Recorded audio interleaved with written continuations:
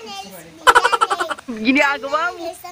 Ibibidyo po namin ngayon yung anak po namin na Mingming. Nanganganak po siya. Baby po namin, baby po namin yung Mingming namin. Ayun po siya, at tignan niyo.